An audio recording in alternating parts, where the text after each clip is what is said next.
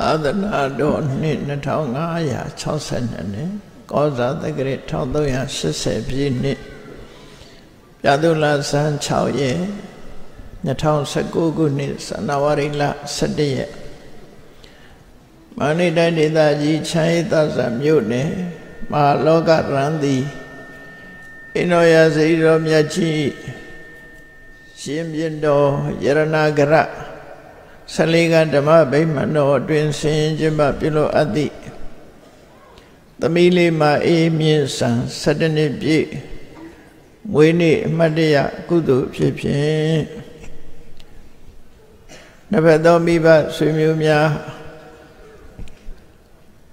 အမှုထား၍ကိုတင်မျိုးထွတ်မသုစာຫນွယ်သမီးမအေးမြင့်ဆန်သာ မဝင်းမင်းထွမိသားစုတို့ဤ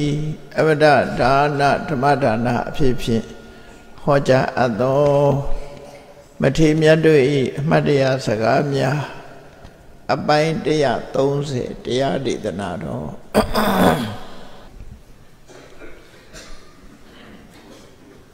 မြတ်ဗုဒ္ဓဤတပိသာဝကယဟန္တာအရှင်မြတ်တွေဟာမူလက တန်တရားထဲမှာခီးသွားနေတဲ့တာမန်လူသားတွေပဲဖြစ်တယ်သို့တော့ရှင်နေကတရတရားဖြစ်ပေါ်လာတဲ့အခါမှာဘဝလမ်းကြောင်းဟာပြောင်းလဲလာပြီးတော့တိုးတက်မြင့်မားပြီးနောက်ဆုံးယဟန္တာဖြစ်သူရောက်သွားကြတာဖြစ်တယ်ဘုန်းကြီးတို့တွေလည်းမြတ်စွာဘုရားသာသနာတော်နဲ့တွေ့တဲ့အခါမှာ လုံးတင်နာနဲ့မလုံးတင်နာကို ခွဲခြားသိရှိနားလည်တဲ့အသိဉာဏ်ရလာကြတာဖြစ်တယ်။ရလာသည့်အတွက်ကြောင့်မလုံးတင်နာတွေကိုရှောင်ခြင်းလုံးတင်နာကိုလှုပ်ဆောင်ခြင်းအဖြစ်ဘဝခရီးလမ်းမှာအောက်တန်းနောက်တန်းကြပြီးဆင်းရဲဒုက္ခရောက်ရမယ့်ဘဝမျိုးကလွတ်ကင်းလို့ထက်တန်းကြတဲ့ဘဝမျိုးမှာဖြစ်လာနိုင်တယ်။အဲ့ဒီအနေနဲ့ဆင့်တက်ပြီးတော့ သူတော်ကောင်းတရားတွေယင်းနေအခိုင်အမာဖြစ်ပေါ်လာတဲ့အခါမှာ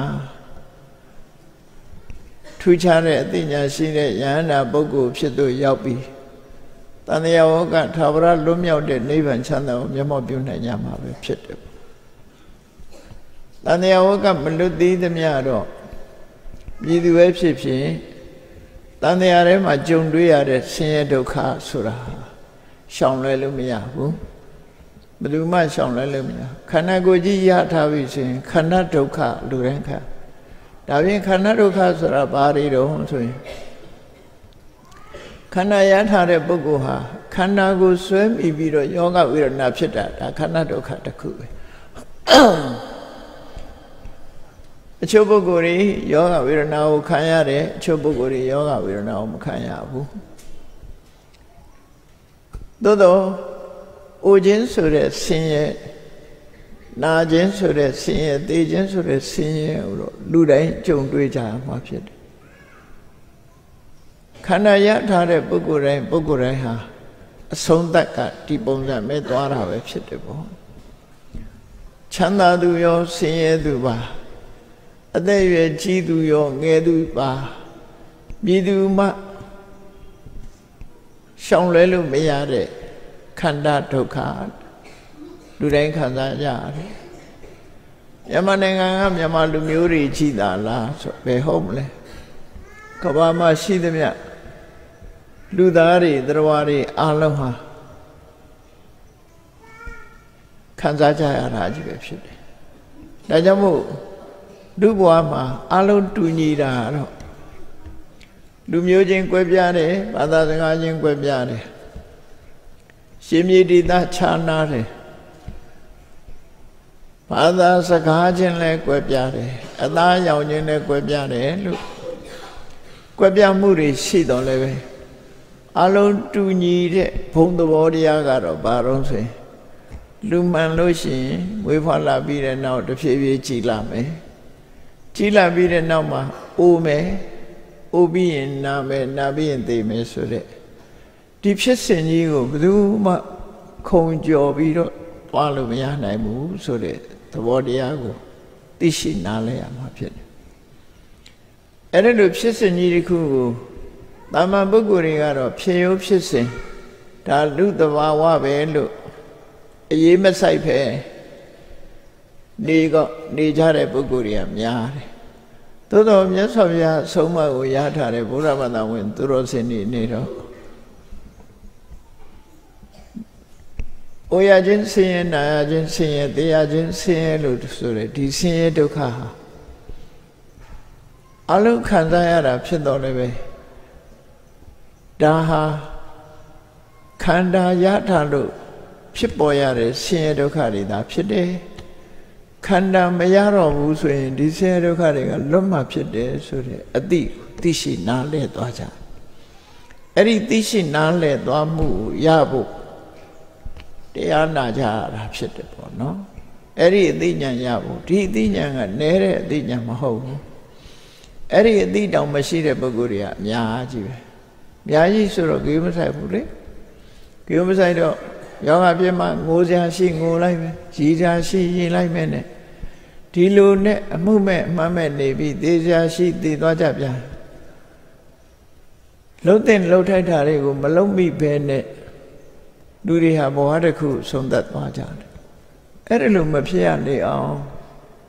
တန်ဝေကဆိုတဲ့ရှင်တဲ့နှလုံးထဲမှာဖြစ်ပေါ်လာတဲ့သဘောတရားကိုမိမိတို့ရဲ့ရင်ထဲမှာဖြစ်ဖို့လိုတယ်တန်ဝေကဆိုတာဥတ္တပရဲ့တတိရဲ့ပညာရဲ့ဒီသုံးမျိုးပေါင်းစပ်ထားတဲ့အရာဖြစ်တယ်ဥတ္တပဆိုတာ တန်တရားဝဆင်းရဲကြီးကိုကြောက်လန့်တဲ့သဘောဟာတာကြောက်ဆရာကြီးပဲဆိုတာသိတဲ့ဥတ္တပတတိဆိုတာအမတ်တမဲ့နေတာမဟုတ်ဘူးတနေ့ပြီးတနေ့ဒုတွေကချီးလာကြ2019ခုနှစ်ရောက်လာတာမကြခင်ကမှလူတွေဟာသူတပည့်ရန်ကုန်ကလူတွေကဟော 2018ခုနှစ်ကုံဆုံးမဲ့ညမှာမအိပ်မနေစောင့်ကြည့်ပြီးတော့12နာရီမှာ Happy New Year လောက်လာကြတာအခု17ရက်ရောက်သွားပြီတလတနှစ်မှာရက်ပေါင်း365ရက်ရှိတဲ့ထဲဟာခု17ရက်ယော့သွားပြီလို့သူတို့ပြောတာအဲ့ဒီယော့သွားတာမတ်တမဲ့နေတဲ့လူတွေယောမှမသိဘူးယောတာ သူ့ဘာသူပြက်ကလေးနေတာတရွက်ပြီးတရွက်ကုံသွားတာငါလည်းဘာမှမဆိုင်ဘူးလို့ထင်နေကြအများစုကအဲ့ဒါလို့ထင်ထင်တော့ထင်နေတဲ့အချိန်တော့စိတ်သက်သာတာပေါ့စိတ်ပြည့်စရာသူမတွေးမိဘူးဆိုစိတ်သက်သာတယ်လို့ထင်ရတယ်သို့တော့ပြင်ဆင်ရမယ့်အလုပ်တွေကို तू မပြင်ဆင်သည့်အတွက်ကြောင့်ရှေ့မှာကြုံတွေ့ရမယ့်ဆင်းရဲဒုက္ခတွေနဲ့တွေ့တဲ့အခါမှာခြေမကင်မိလက်မကင်မိဖြစ်တတ်တယ် အဲ့ဒါဟာတတိတရားကင်းလွတ်နေခြင်းကြောင့်ဖြစ်တာဖြစ်တယ်ကြိုတင်သိရှိထားတဲ့ပုဂ္ဂိုလ်ဟာကိုယ့်ကိုပြင်ဆင်ပြီးတော့သွားဥပမာမဲမပြင်ဆင်မဲနဲ့ခရီးသွားတယ်ကိုသွားတဲ့အချိန်ကတော်တော်ကိုနောက်ကျသွားသည့်အတွက်ကြောင့်ကိုရောက်ရမယ့်အချိန်မှာအမောင်ကြီးကြပြီးတော့ အနေဒီများတဲ့လမ်းကနေရှောက်လှမ်းရမှာကျွတ်တင်ပြင်ဆင်မထားတဲ့လူကမောင်းလာလေးလေးကိုလမ်းပေါ်ကဘာရှိမှမသိလေးလေးကြုံတွေ့ရမယ့်အနေဒီများလာလေးလေးစိတ်ဒုက္ခကြီးမားလေးလေးဖြစ်တယ်အေးငါသွားတဲ့ခရီးဟာမကြခင်လမ်းဆုံးမရောက်ခင်မှောင်နိုင်မယ်ကျွတ်တင်ပြင်ဆင်ထားမှဖြစ်မယ်ဆိုပြီးတော့အလင်းတမီတို့ဘာတို့ ယူဆောင်ပြီးတော့သွားတဲ့ပုဂ္ဂိုလ်ကြတော့မှောင်တာဟာသူ့စိတ်ကိုမချောက်ချားတော့ဘူးမချောက်ချားစေနိုင်တော့ဘူးသူဟာပြင်ဆင်လာတဲ့ပုဂ္ဂိုလ်ဖြစ်တယ်ပေါ့ရဲရဲဝံ့ဝံ့ဖြတ်တန်းသွားလာနိုင်တယ်အဲ့ဒီသဘောပဲဘုန်းကြီးတို့တွေဘဝခရီးကိုသွားတဲ့အခါမှာပြင်ဆင်ကြရမှာဖြစ်တယ်ဟောပြင်ဆင်ထားတဲ့ပုဂ္ဂိုလ်ဟာဘာနဲ့ပဲကြုံတွေ့ကြုံတွေ့ရဲဝံ့ရင်ဆိုင်နိုင်တယ် တော်ထဲမှာအန္တရာယ်ရှိတယ်ဆိုလည်းပဲပြင်ဆင်ထားသည့်အတွက်ကြောင့်ရင်ဆိုင်တွေ့လာတဲ့အခါမှာခြေမကင်မိလက်မကင်မိမဖြစ်တော့ဘူးကျွတ်တင်ပြင်ဆင်ထားသည့်အတွက်ရင်ဆိုင်ဝန်းသွားတယ်ပေါ့ဘဝဆိုတာကန္တရာကြီးနဲ့တူတယ်ကန္တရာဆိုတာအသွားလာပြတ်ပြီးတော့အလွန်အနေများတဲ့ခရီးပဲအဲ့ဒီခရီးသွားတဲ့ပုဂ္ဂိုလ်တိုင်းပုဂ္ဂိုလ်တိုင်းဟာပြင်ဆင်ကြရတယ် မပြင်ဆင်မဲနဲ့သွားရင်အန္တရာယ်နဲ့ကြုံလို့ရှိရင်ငုတ်တုတ်ပဲထိုင်ရမှာပဲဖြစ်တယ်ဟောအဲ့ဒါလိုမဖြစ်ရအောင်တန်တရားခရီးမှာလေဘုန်းကြီးတို့တွေပြင်ဆင်ကြတာပြင်ဆင်တာတွေကဘာတွေနဲ့ပြင်ဆင်ကြတော့အခုလိုမွေးနေ့အမှတ်တရကုသိုလ်ကောင်းမှုတွေလုပ်တယ်ဒါလည်းပြင်ဆင်မှုတစ်ခုပဲเนาะကျွတ်တင်ပြင်ဆင်တာပဲ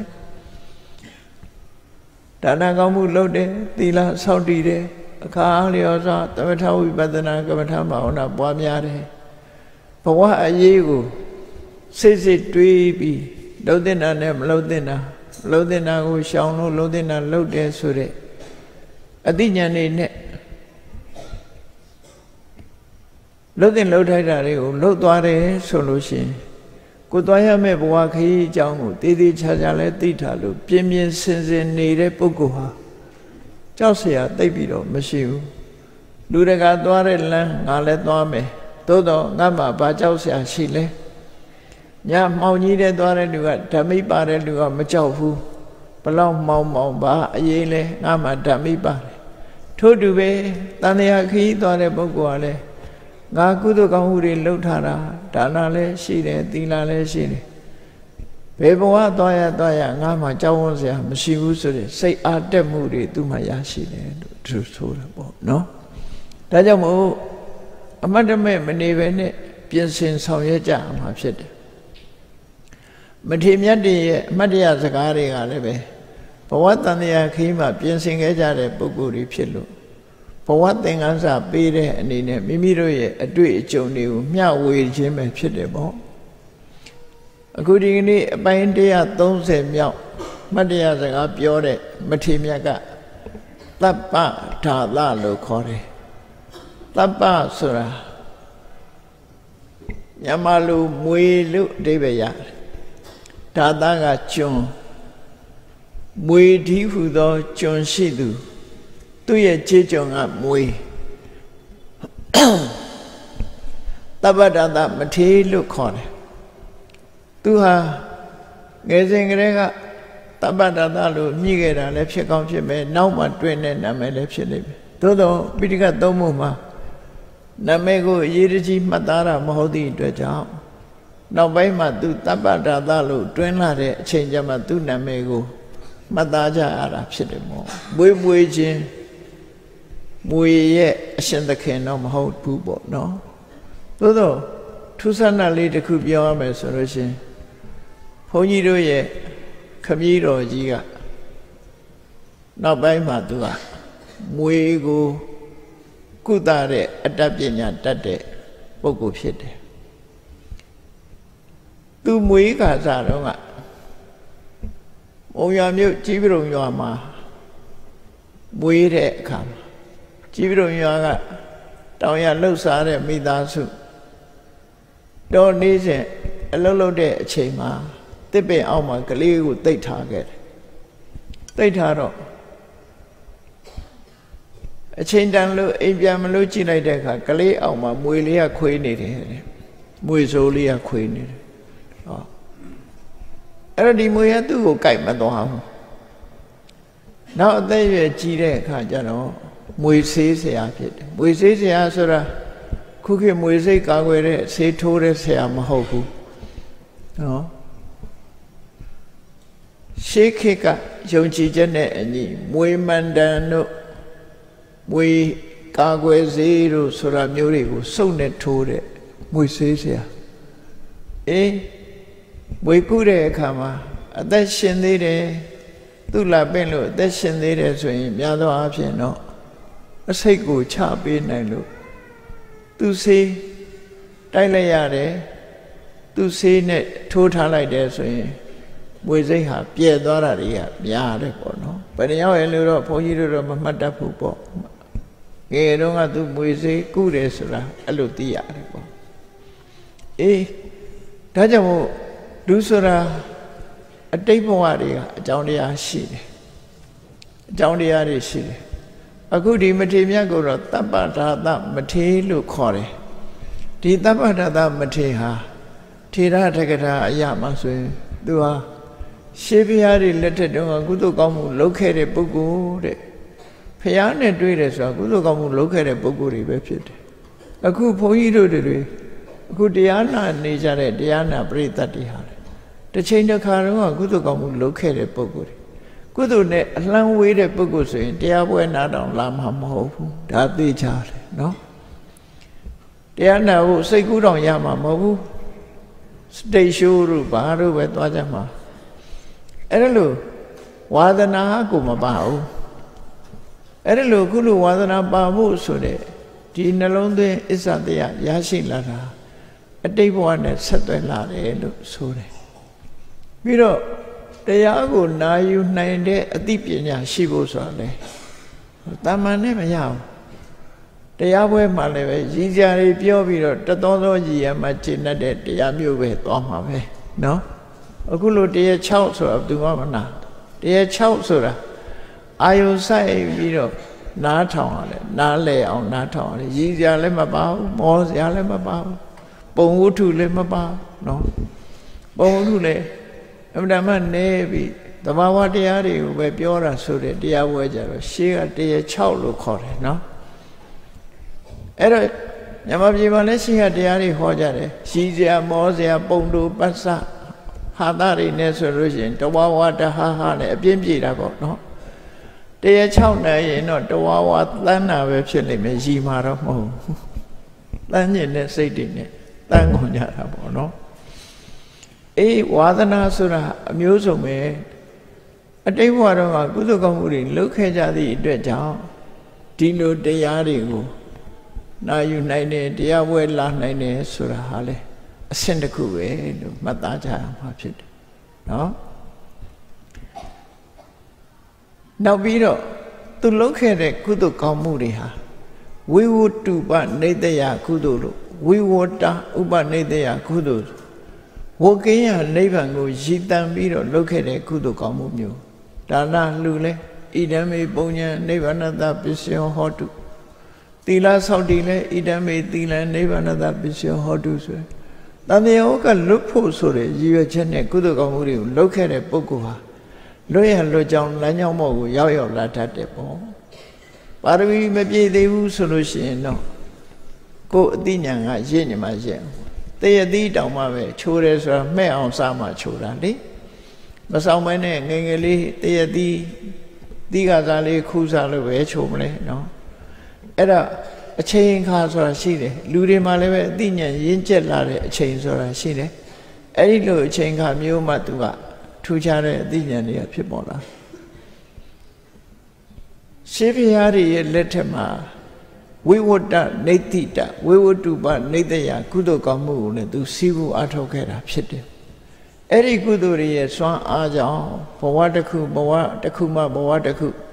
တန်တရားထဲမှာအလှဲ့အပြောင်းနေလာရကနေ ဂေါရမမြတ်စွာဘုရားလက်ထက်ရောက်တဲ့အခါမှာဒီယဟန္တာလောင်းပုဂ္ဂိုလ်သူမြတ်ဟာဒီသုဒ္ဓရဏမင်းကြီးရဲ့ပရောဟိတ်ရဲ့တာလာဖြစ်တယ်ကပိလဝမြို့မှာလာမွေးဖွားတယ်ကပိလဝမြို့မှာသူသုဒ္ဓရဏမင်းကြီးရဲ့သားဖြစ်လာသုဒ္ဓရဏမင်းကြီးရဲ့ပရောဟိတ်ရဲ့တာလာဖြစ်တယ်မြတ်စွာဘုရားတောထွက်ပြီးတဲ့နောက်မှာ ခုနှစ်နှစ်ကြာမှတိုင်းတော်ပြည်တော်ကို ပြန်လီကြွချင်ခဲ့တာအဲ့လိုပြန်ကြွတဲ့အခါမှာဆွေတွေမျိုးတွေဇာတိဒေသကဆွေမျိုးတွေနဲ့ဆုံတဲ့ပွဲမှာဆွေတွေမျိုးတွေကဖះကိုငါတူငါသားလူဘွားတုန်းကအတူနေလာကြတာဆိုတော့လေးစားသမှုမပြုချဘူးဒါထုံးစံအဲ့ဒါလိုဖြစ်တာကိုမြတ်စွာဘုရားက ရှေးရခင်ကနဲ့မတူဘူးဆိုတာအစွမ်းတကူပြတဲ့အနေနဲ့6နှစ်ပတ်လုံးတရားဓမ္မကျင့်ကြံကြိုးကိုအထောက်ခဲ့လို့ထူးခြားတဲ့အသိဉာဏ်ပြုရရှိတာမို့ရေမီးအစုံတကိုးပြတရားကိုပြခဲ့ရတယ်နော်ရေမီးအစုံတကိုးပြတရားကိုပြထူးမခြားနာသချင်းကြီးခဏခဏကြားဘူးကြလိမ့်မယ်အဲ့ဒါရေမီးအစုံတကိုးပြတရားကိုပြတာနော်ခန္ဓာကိုယ်ကရေနဲ့မီးနဲ့ပန်းထွက်ပြီးအစမ်းတကျ ဖန်ဆင်းပြတာကိုယမကပါတိဟာရိယယမိုက်ဗျာတိဟာလို့ခေါ်တယ်ဆွေတော်မျိုးတွေရဲ့အလဲမှာဘလို့မှမကြုံဘူးတဲ့အံ့ဩထူခြားဆန်းပြလှတဲ့တကိုးစွမ်းအားကိုပြပြီးတော့မြတ်စွာဘုရားရဲ့တရားဓမ္မဟောတဲ့အခါမှာရောက်လာကြတဲ့ပိဋကတ်တွေရဲ့ယင်ထဲမှာယုံကြည်အားကိုမြတ်နိုးတဲ့တရားတွေဖြစ်ပေါ်လာကြတယ်အဲ့ဒီတော့ကဆွေတွေမျိုးတွေနဲ့ဆုံစည်းတဲ့ပွဲမှာ ဒီမထေမြတ်ရဲ့အလောင်းဟာပါဝင်ခဲ့တာဖြစ်တယ်ပေါ့ရသော်ဘုရားရဲ့တရားကိုလည်းနာရတယ်အစွမ်းတကူတွေကိုလည်းဖူးတွေ့ရတယ်လို့ဆိုတဲ့အခါမှာရှင်တွေကသရတရားတွေလှိုင်းလုံးကြီးတို့မြင့်တက်လာပြီးနောက်ဆုံးမှာလူဘဝမှာမနေတော့ပဲနဲ့မြတ်စွာဘုရားရဲ့ဓမ္မ ခွင့်တောင်းပြီးတော့ယဟန်ဝတ်တဲ့အဆင့်ထိအောင်ရောက်သွားဒီပုဂ္ဂိုလ်သူများဟာဒါလည်းပဲဒီဘဝမှာဖြစ်တာတော့မဟုတ်တော့အတိတ်ဘဝတုန်းကတည်းကသူဟာတန်တရားဝကလွတ်လွတ်တဲ့စိတ်ဆန္ဒတွေတန်ဝေခဆိုတဲ့ဟိရိဩတ္တပအဲဩတ္တပတို့အတိညာဏ်တို့တတိတို့ဆိုတဲ့ဟာတွေသူ့ရင်ထဲမှာဖြစ်ခဲ့လို့တန်ဝေခတရားရဲ့စွမ်းအားနဲ့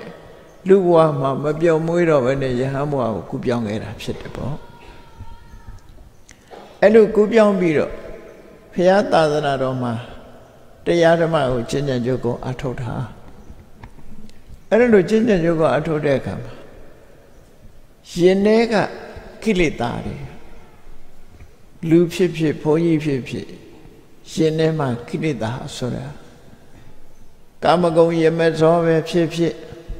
နော်များသောအားဖြင့်ကာမဂုဏ်ရမဇောတွေနဲ့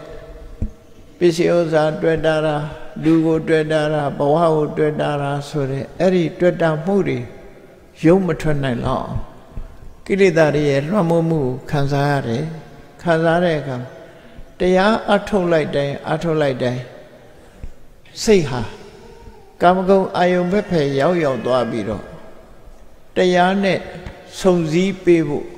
တရားရဲ့အာယုံမောကိုတင်ပေးလို့မရတော့အောင်အခြေအနေတွေကဆိုးဝါးပြီးတော့လာတယ်ပေါ့နော်အဲ့ဒီလိုတရားနှလုံးသွင်းလိုက်ကာမဂုဏ်အာယုန်တွေနဲ့မကျေနပ်မှုစတဲ့ကိလေသာတွေနဲ့ရင်ဆိုင်တိုးရတဲ့အခါမှာကိလေသာအာယုန်တွေဟာဖြတ်လို့နှိမ်နှင်းလို့မရနိုင်လောက်အောင်သူ့ရင်ထဲမှာလှိုင်းတဘိုးကဲ့သို့တိုးတက်ဖြစ်ပွားလာတယ် တရားထိုင်လိုက်ကိလေသာတွေဖြစ်လိုက်နေဆိုတော့ကြာတော့သူ့စိတ်ထဲမှာငါတရားအထုတ်လို့တော့ဘာမှထူးမှမဟုတ်ပါဘူးဆိုတဲ့စိတ်တွေဖြစ်လာမအောင်မြင်တော့မအောင်မြင်တဲ့အခါမှာလူဟာစိတ်တကြလာကိုလုတ်တဲ့လုပ်ငန်းတစ်ခုမအောင်မြင်ဘူးဆိုတာစိတ်တကြလာတဲ့သဘောတရားဟာလူတိုင်းမှာဖြစ်လေဖြစ်တာရှိတဲ့အရာပဲဖြစ် အဲ့ဒီမှာသူတပ္ပဒါသလို့တွင်သွားတဲ့အကြောင်းကတော့ဘာလို့ဆိုရင်သူဟာစိတ်ပြက်လက်ပြက်ဖြစ်နေတဲ့အချိန်လေးမှာဒီမိဖို့ကြောင့်ထဲမှာဒီမွေလေးတစ်ကောင်မွေဆိုးတစ်ကောင်ကိုယဟန်တွေကတွေ့တော့ဖမ်းကြတယ်ဖမ်းပြီးတော့အိုးရဲထည့်ပြီးတော့အဝေးကိုပို့ဖို့ကြိုးစားကြတယ်အဲ့ဒါလို့အဝေးပို့ဖို့ကြိုးစားတဲ့အခါမှာ သူကလည်းစိတ်ပြက်နေတဲ့ပုဂ္ဂိုလ်ဖြစ်သည့်အတွက်ကြောင့်အဲ့ဒါဘာလဲလို့မေးတော့မွေစိုးဖမ်းလာတာလို့ဆိုအဲ့ဒီမွေစိုးဖမ်းလာရင်သူ့ပေးပါသူသွားလွှတ်ပတ်မယ်ဆိုပြီးအိုးမပြီးယူသွားသူကသေခြင်းနေတာအဲ့ဒီအချိန်မှာသေခြင်းနေတော့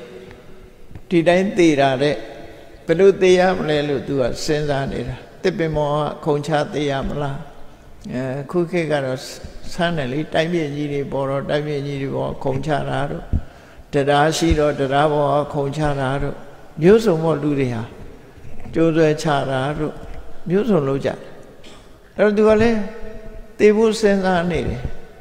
ဒီဘဝမှာယဟန်တရားအထုတ်လို့လည်းမရဘူးလူပြန်ထွက်ပြန်တော့လေရှက်เสียကြီး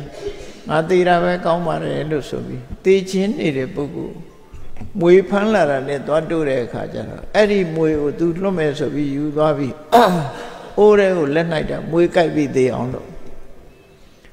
အဲ့ဒီမွေကလည်း तू ၌တော့ကြိုက်ကိုမကြိုက်ဘူးတဲ့ကြိုက်အောင်ပါဇက်ဖြဲထဲတော့လည်းမကြိုက်ဘူးတဲ့အဲ့ဒါလောက်တည်း तू ကဒါမွေဆိုးဟုတ်မထမဘူးအလကားရေမွေနဲ့တူပါတယ်တို့ဆိုပြီးမွေကိုလွတ်ထားခဲ့တယ်လွတ်ထားခဲ့တဲ့အခါကျတော့ယဟန်တွေက ငါရှင်မွေလွတ်ခဲ့လားလွတ်ခဲ့ပြီကိုရောတို့မွေကမွေဆိုဟုတ်ပါဘူးအလကားရေမွေကြီးပါဆိုရဲမဟုတ်ဘူးတဲ့သူတို့မှမနှဲဖမ်းထားတာတဲ့ဗပြင်းထောင်ပြီးတော့တရှုရှုလုပ်နေတဲ့မွေဟောက်ကြီးပါလို့ဆိုအဲ့သူကြတော့အဲ့ဒီမွေကမကြိုက်ဘူးသူဟာတေးခြင်းလို့မွေကြိုက်ခံခြင်းလို့မှမွေပါဇက်ထဲလဲထဲတာတော့မကြိုက်ဘူးလို့ဆိုဘာကြောင့်ဒီလိုဖြစ်ရသလဲဆိုတော့မြတ်စွာဘုရားရှောက်ကြတယ် ဒီကိုယ်တော်မွေဆိုးကသူ့မကြိုက်ဘူးကြိုက်အောင်အမျိုးမျိုးလုပ်တာမရဘူးဘာကြောင့်လို့ဆိုဒီမွေကတတ္တိယဘဝတုန်းကသူ့ရဲ့ကြုံနဲ့ဖြစ်ခဲ့ဘူးတဲ့သူကအရှင်သခင်ဖြစ်ခဲ့ဘူးတဲ့အဲ့ဒါလို့တတ္တိယဘဝမှာကြုံနဲ့အရှင်သခင်ဖြစ်ခဲ့သည့်အတွက်ကြောင့်အဲ့ဒီတုန်းကတည်းကကိုယ်အရှင်သခင်ဆိုတဲ့အသိစိတ်ဟာခုခေတ်လူတွေပြောသလိုပေါ့တကယ်ကတော့သိတာမဟုတ်တော့လေသွေးကပြောပြီးတော့မကြိုက်ကိုမကြိုက်တော့တာ နော်သွေးကပြောတယ်ဆိုတာအဲ့ဒါပဲမဖြစ်ဘူးကြဘူးလားတခါတခါလူတယောက်တွေ့တယ်မြင်းမြင်ချင်းခင်မင်သွားတဲ့လူရှိတယ်မြင်းမြင်ချင်းအမြင်ကတ်တဲ့လူလည်းရှိတယ်အမြင်မြင်ချင်းအမြင်ကတ်တဲ့လူကတော့ဟိုဘဝတုန်းကရန်သူဖြစ်ခဲ့တာဖြစ်မြင်းမြင်ချင်းခင်မင်ပြီးမိတ်ဆွေဖြစ်သွားတဲ့ပုဂ္ဂိုလ်ကြတာဟိုဘဝတုန်းကဆွေမျိုးသားချင်းတူဖြစ်ခဲ့လူထဲမှာအမတ်တမဲ့မနေပဲနဲ့ကြည်လိုက်ရင်ရတချို့ကြတော့ ရန်သူဖြစ်လာပြီဆိုလို့ရှိရင်ကိုယ်အိမ်ရောက်လာတဲ့ကိုသားသမီးတောင်မှအမေဖေတွေကကြည့်မရတဲ့သားသမီးရှိသေးတဲ့နော်ကြည့်လို့မရဘူးမုန်းလိုက်တာဒီကလေးမုန်းလိုက်တာသားသမီးမျိုးဖြစ်တယ်ဟိုဘဝတုန်းကရန်သူဒီဘဝကျတော့ဟောသားသမီးလာဖြစ်တယ်ဒါမျိုးလည်းရှိတတ်တယ်ဒါမျိုးလည်းရှိတယ်အဲ့တော့အတိတ်ဘဝဆိုတာသိနိုင်တာမဟုတ်ဘူးလူကမသိတော့လည်းပဲသွေးကသိတယ်လို့ပြောရမှာ အခုလဲသွေးကသိလို့မွေကသူ့ကိုမကြိုက်ဘူးပါဇက်ထဲလဲထိုးတာတောင်မှပဲငုံယုံငုံထားဖြစ်ရပုံပါတော့เนาะအဲ့ဒါလိုအခြေအနေမျိုးကိုအကြောင်းပြုပြီးတော့သူ့ကို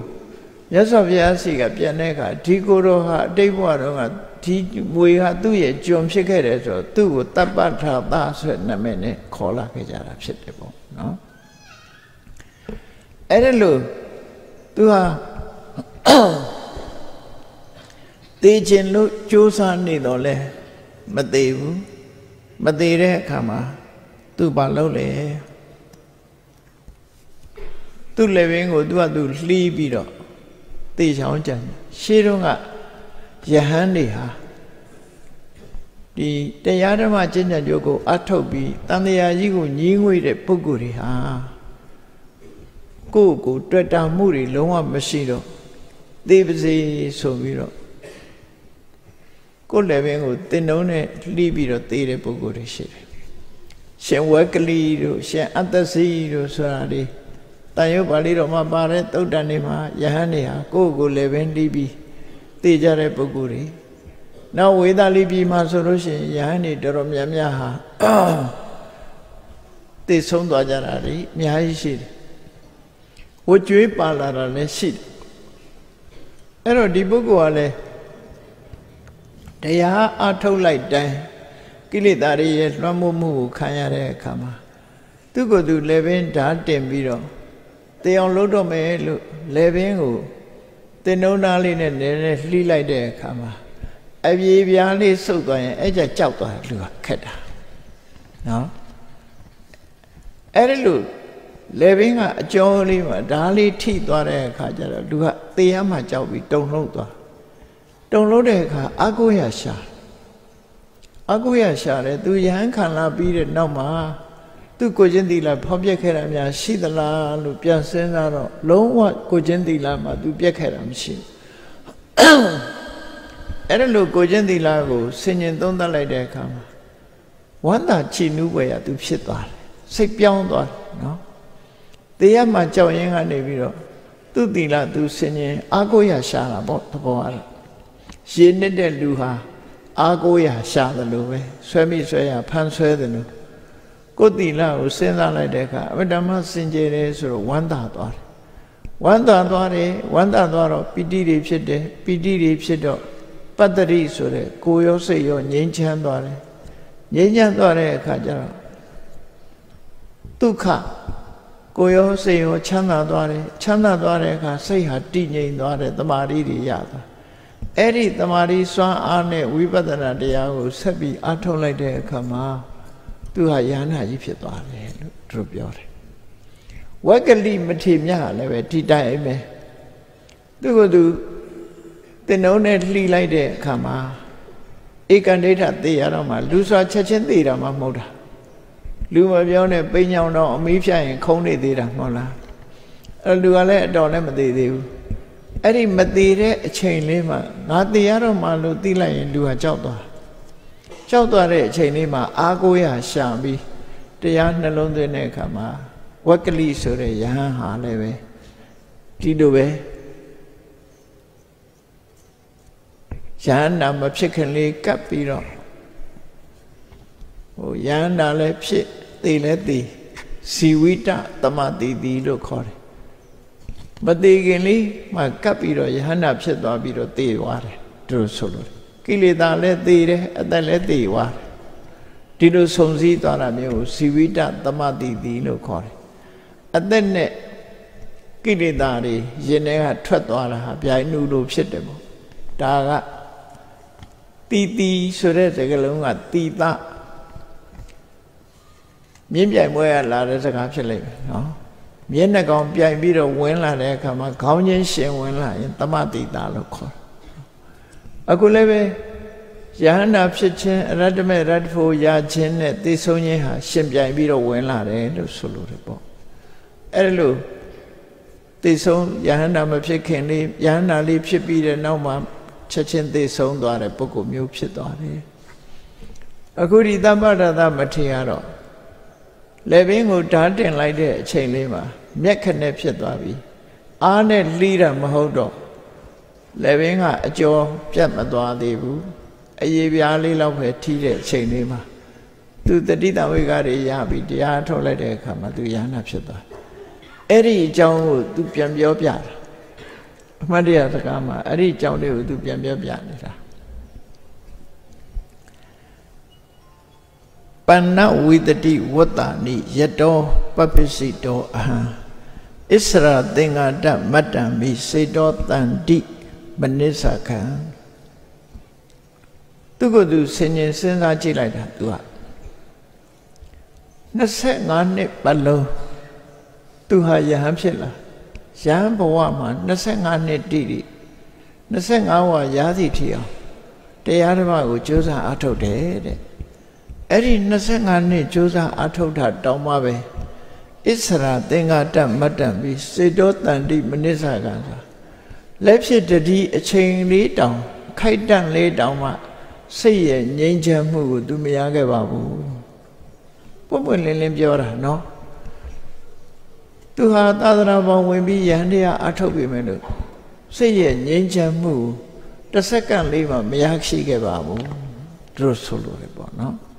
တမာတိတရားကိုလုံးဝမရရှိခဲ့ပါဘူးအဲ့လိုမရတော့သူဘာဖြစ်လဲအလတ္တာစိတ်တတိကက်ခံစိတ်ရဲ့တည်ငြိမ်မှုကိုသူမရတဲ့အခါဘာကြောင့်မရတာတော့ဆိုကာမရာဂေနအဋ္ဌိတောလူဘဝလူထွက်ခြင်းနဲ့ကာမဂုဏ်အာယုန်တွေကိုခံစားခြင်းနဲ့ဆိုတဲ့ကာမရာဂ ရမက်ဇောတွေရဲ့လွှမ်းမိုးနှိမ့်ဆက်မှုကိုသူခံရရလို့စိတ်တည်ငြိမ်မှုကိုမရတာပါတဲ့ကြိုးစားပေမဲ့လို့ရှင်တဲ့ကဘလောက်ပဲကြိုးစားပြီးဖြောက်ဖြောက်တရားနဲ့ကြိုးစားပြီးဖြောက်ဖြောက်ဒီရှင်တဲ့ကရမက်ဆိုးကြီးဟာတိုးတဲ့တိုးလာတဲ့အခါကျတော့သူဟာငါနဲ့လူဖြစ်ချိုးမနှက်ပါဘူးဆိုပြီးဘာဟာ ပက်ကရှာကန်တန်တော်ကလေးတွေဟာလက်မောင်းနှစ်ဖက်မြောက်ပြီးတော့ငိုသလိုပဲသူဟာလည်းငိုကြွေးမြည်တမ်းပြီးတော့ဝိဟာရဥပနိခမေကျောင်းငန်းတွေကထွက်ခွာလိုက်တယ်သူကသူမကြေမနက်ဖြစ်ပြီးတော့ငိုကြွေးပြီးကျောင်းငန်းတွေကထွက်လိုက်တယ်တထံဝါအာဟရိတမိ ကောအထောစီဝိတေနမေသူ့စိတ်ထဲမှာဘာဖြစ်25နှစ်တိတိငါကြိုးစားရတောင်ဘာတရားထုမှမရဘူးဆိုလို့ရှင်အသက်ရှင်နေလို့ဘာအကျိုးရှိမှာတော့ကိုကိုကိုတတ်သိမယ်စူးစိုက်လုပ်မယ်ဆိုတဲ့အတွေ့တွေဒါမဆန်းဘူးဒီခေတ်မှာလဲလူတွေဟာကိုယ့်ကိုတတ်သိဖို့အတွေ့တွေရှိကြလားနော်ရှိတယ်ရှိတယ်မကျေနပ်တာတခုဖြစ်လာလို့ရှင် မကျေနပ်မှုကိုအကြောင်းပြုပြီးတော့ကိုယ့်ကိုတတ်သိဖို့ကြိုးစားလာတထံဝါအာရိတ္တမိဆိုတာအေးဒါနဲ့လည်းပင်ကိုကိုယ့်ကိုလှီးပြီးသေချောင်းကြံမယ်လို့သူစိတ်တွေဖြစ်လာတေပင်မောကနေခုံချမယ်ကြိုးဆွဲချမယ်တေပုံတေနီးတွေမျိုးစုံသူကြိုးစားမယ်ဆိုပြီးကျောင်းထဲကထွက်ပြီးတော့တေရမယ့်နေရာကိုသူစဉ်းစားကြည့်တော့စိတ်ပြက်လက်ပြက်နဲ့ဖြစ်လာကထံဟိသိခာပစ္စကံ ကာလံကိုဝေထမာရိတောငါလိုပုဂ္ဂိုလ်ဟာ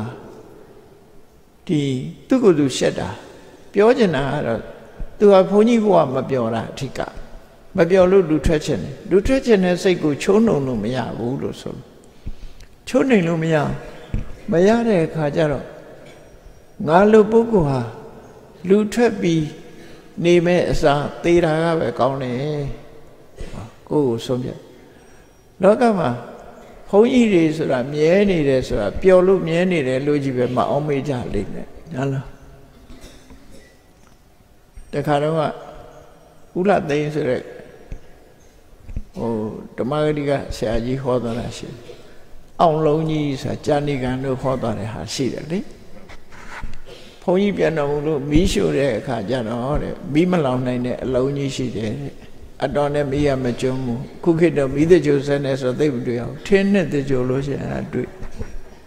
အဲ့ဒါဘာအလုံးလို့ဆိုအောင်လုံးကြီးတဲ့မပြောပြမဲ့အောင့်နေရတယ်လို့ဆိုလို့လေ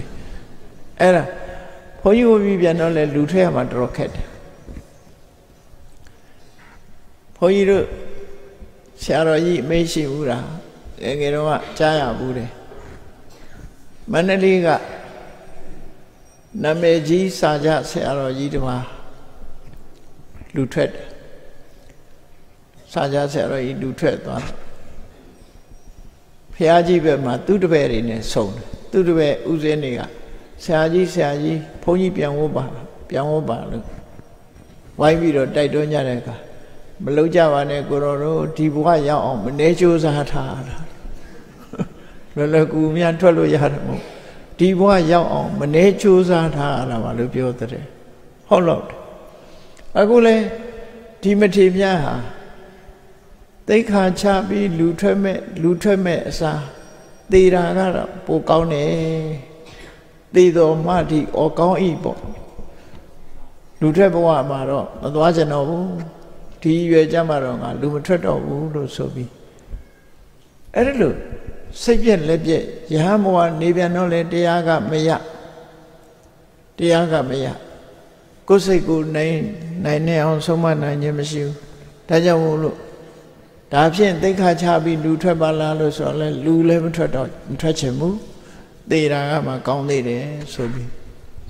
ဆုံးဖြတ်တယ်သူကတဒါဟံခုရမာထာယအဲ့ဒီချိန်လေးမှာ သူဟာတင်နှုံးကိုယူလာခဲ့တယ်တင်နှုံးလေးကိုယူလာလက်ထဲမှာဓားလေးပါတယ်ပေါ့နော်မေစကံမိဥပဝိသေသူများတွေမြင်မှာဆိုလို့ချောင်းကန်းလေးတွေပြန်ဝင်လိုက်ပြန်ဝင်လိုက်ပြီးတော့ညောင်ဆောင်ပေါ်မှာလက်အိပ်ပြီးပရိနီတောခုရောအာတိဓမ္မနေစစ်တုမတ္တနောသူ့ရဲ့လက်ဘင်းကရှိတဲ့သွေးကြောကိုဖြတ်တောက်ဖို့ရသူစဉ်းစားပြီးကြိုးစားလိုက်တယ် လေပင်ပေါ်ဓာတ်တင်လိုက်တယ်ပေါ့နော်အဲ့ဒါလို့ဓာတ်တင်လိုက်တဲ့အခါမှာဖြစ်ပြီးတော့လှီးတော့မယ်ဆိုပြီးအရေးပြားလေးပေါ်မှာဆက်ကနေဖြစ်သွားတဲ့အချိန်လေးမှာတတော်မေမနတိကာရောယောနိသောဥဒပစ္စထာသူကောင်းထဲမှာဘာဝင်လာတော့ဆို25နှစ်လုံးလုံးသူဘုန်းကြီးဖြစ်လာတာ သီလနဲ့ပတ်သက်ပြီးတော့တဲ့သူဖောက်ဖျက်တာမရှိဘူးဆိုတော့သူကိုယ်သူသိလာကိုယ်သီလကိုကိုယ်ဆင်ញင်လိုက်တဲ့အခါကျတော့ခယူသင်ပုတ္တိပလဲနဲ့အတွင်ဖြူစင်းနေတဲ့သီလအစွမ်းထင်လုံးဝမရှိခဲ့ဘူးကိုကျင်တရားနဲ့ပတ်သက်ပြီးသူဟာချိုးရင်ပြပြခဲ့တာမရှိဘူးဆိုတာကိုစဉ်းစားမိတယ်တရားသူမရဘူးကိရိတာကာမက ကာမဂုဏ်အာယုန်တွေကသူ့ကိုနှိပ်စက်တယ်လို့တွေးတော့ကသူကစိတ်ပြက်တယ်စိတ်ပြက်တယ်တရားသူမရဘူးဆိုစိတ်ထက်ကြကိုယ်တိလာကိုဆင်ញင်လိုက်တဲ့အခါကျတော့စိတ်ထက်ကပြန်တက်လာအဲ့ဒါလေဒီကိုယ့်ဘဝမှာသင်္ကန်းစာယူအောင်စိတ်ပြက်เสียကိုမတွေးနဲ့စိတ်အားတက်เสียကိုတွေးဒါသင်္ကန်းစာတစ်ခုပဲเนาะစိတ်ပြက်တရားတွေးမယ်ဆိုရင်လူဟာစိတ်ပြက်သွားမှာပဲအဲ့တော့ ကောင်းတာနဲ့မကောင်းတာနှစ်ခုရှိလာလို့ရှိရင်ကိုယ်မှာကောင်းတာဘာရှိလဲရှာကြည့်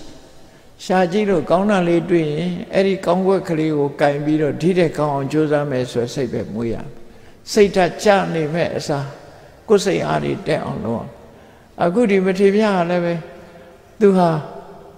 လူဘဝကူဘဝရလဲခက်ခဲတယ်ယဟန်ဘဝမှာလည်းတရားဓုတရားမြတ်ရအောင်ကြိုးစားလို့ကမရရင်ထဲကအပူလုံးကြီးကလည်းပဲ ဒုက္ခပေးနေအဲ့ဒီအချိန်လေးမှာသေတော်မဒီအော်ကောင်းဤလို့စဉ်းစားနေတဲ့အချိန်လေးပေါ့အဲ့ဒီအချိန်မှာသူ့ကိုယ်သူကောင်းကွက်ကလေးကိုရှာလိုက်တဲ့အခါသီလကိုသွားတွေးတာပဲဖြစ်တယ်ပေါ့လူတယောက်ပေါ်မှာအမုန်းတတ်တွေအာကြီးနေတယ်ဆိုလို့ရှိရင်လည်းပဲမုန်းစရာတွေကြီးတွေးနေမယ်ဆိုရင် အမုန်းစိတ်တွေကပိုများလာမယ်ဒါကြောင့်မို့အမုန်းစိတ်မုန်းစရာတွေကိုမတွေးနဲ့ ကောင်းကွက်ကလေးကိုတွေးပြီးတော့ကိုယ့်ရင်ထဲကဒေါသပြောက်အောင်မေတ္တာပွားပါလို့သူတို့ဆိုတယ်နော်မေတ္တာရဲ့ထွက်ပေါက်ပဲလူတိုင်းလူတိုင်းမှာကိုယ်နဲ့ပတ်သက်လာတဲ့အာယုံပဲဖြစ်စေနော်အာယုံမော်ပဲဖြစ်စေလူပုဂ္ဂိုလ်ပဲဖြစ်စေမုံဒီယွန်ရှာတတ်တဲ့စိတ်ဓာတ်ရှိတယ်ပေါ့ရှိတတ်တယ်အဲ့ဒီလိုဖြစ်လာလို့ မုန်းเสียပုဂ္ဂိုလ်အာယုံပြုမိလာလို့မုန်းစိတ်တွေပေါ်လာလို့ရှိရင်သူ့ရဲ့ကောင်းကွက်ကလေးကိုရှာကြည့်ရှာကြည့်ပြီးတော့ကိုယ့်ရင်ထဲမှာမေတ္တာဖြစ်အောင်ပွားရမယ်မုန်းတာတွေကို တွေးမနေနဲ့နော်ဆိုးတာတွေကိုမတွေးနဲ့ဘလောက်ပဲဆိုးဆိုးသူ့ဟာသူဆိုးတာအဲ့ဒီထဲမှာသူကောင်းတဲ့အကွက်ကလေးကိုရှာပြီးတော့မေတ္တာပွားပါ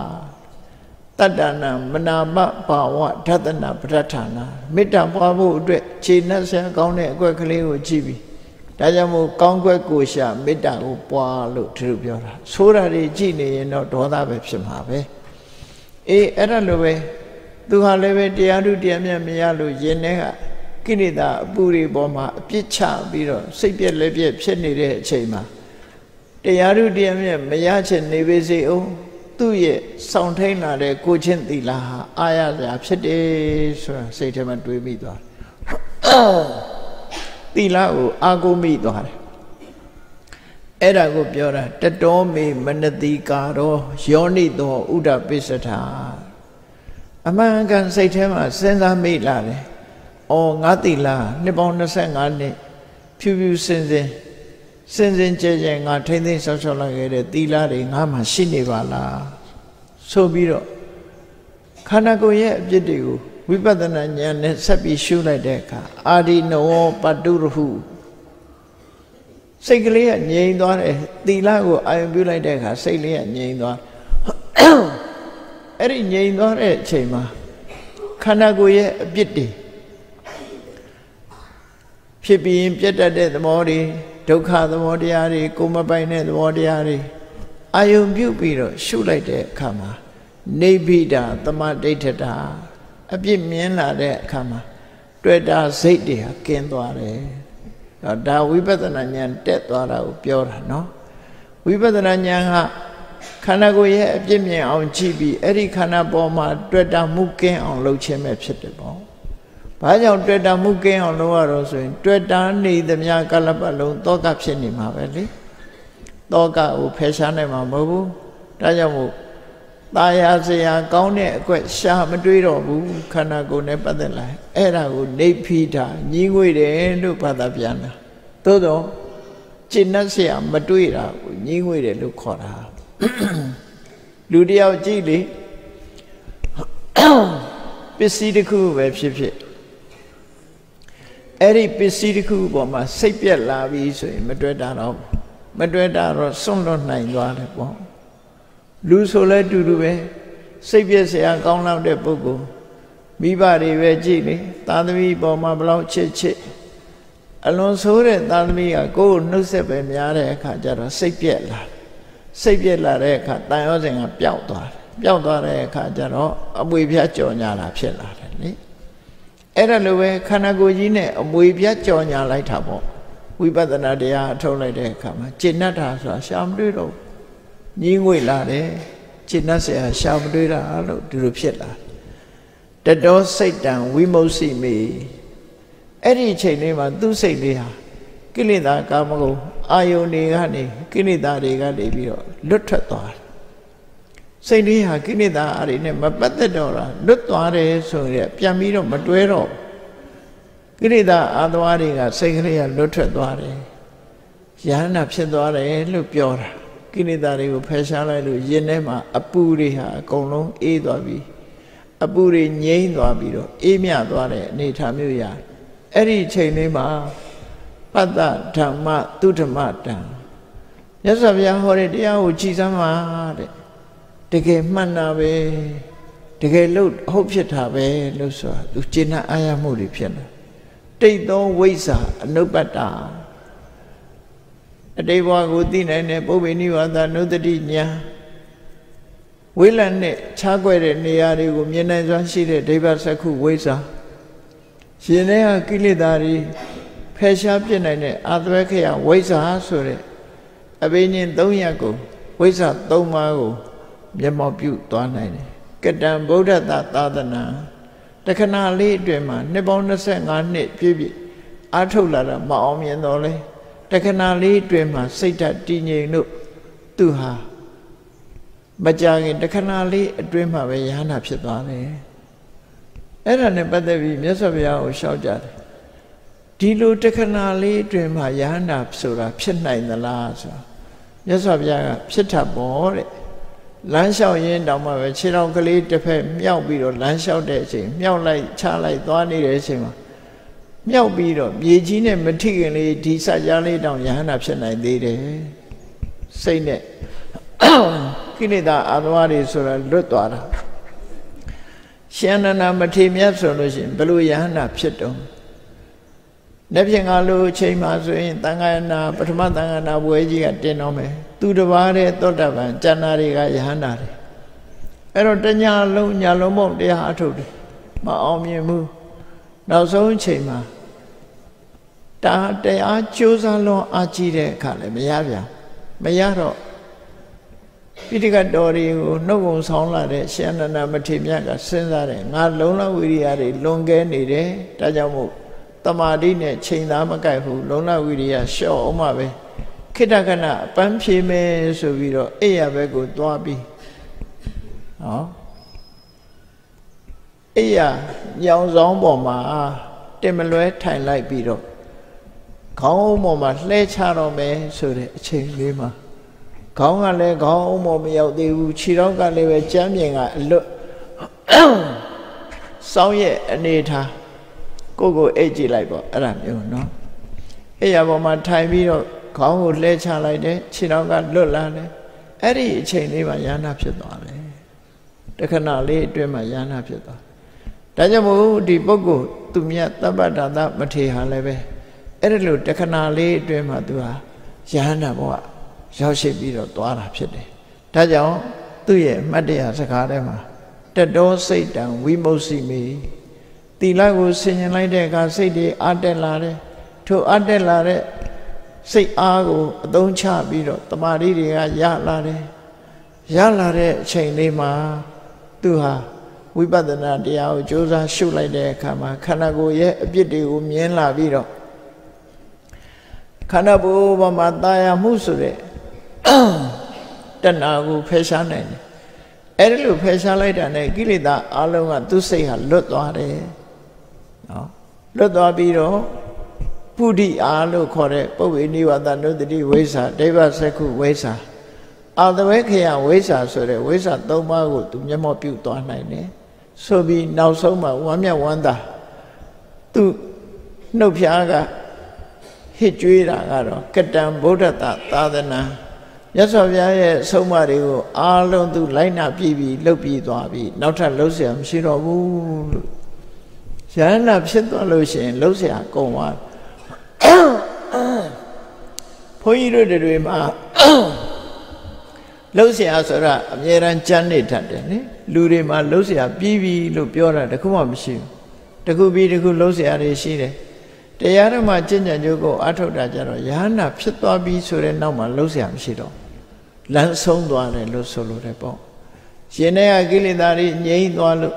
ရှေ့ဆက်ပြီးလှုပ်ရှားပါတခုမှမရှိတဲ့အခါမှာကတံဗုဒ္ဓတသာသနာမြတ်စွာဘုရားရဲ့အဆုံးအမတရားတော်တွေတိုင်းငါလိုက်နာကျင့်သုံး